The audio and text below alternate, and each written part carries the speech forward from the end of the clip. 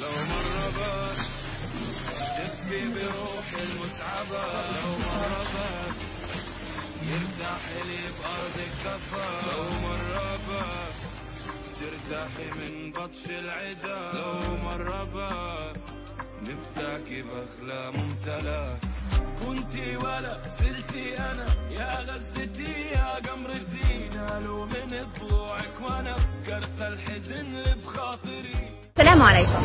I talked a lot about how we displaced people suffer, but really what I'm telling you or showing you is just 1% from our reality. So today, Alhamdulillah, we're continuing our work.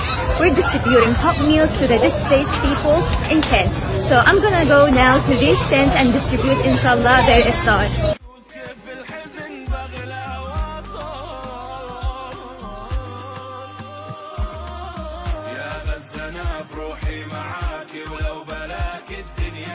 While distributing between the tents, I met this beautiful baby. So I'm gonna give her her iftar.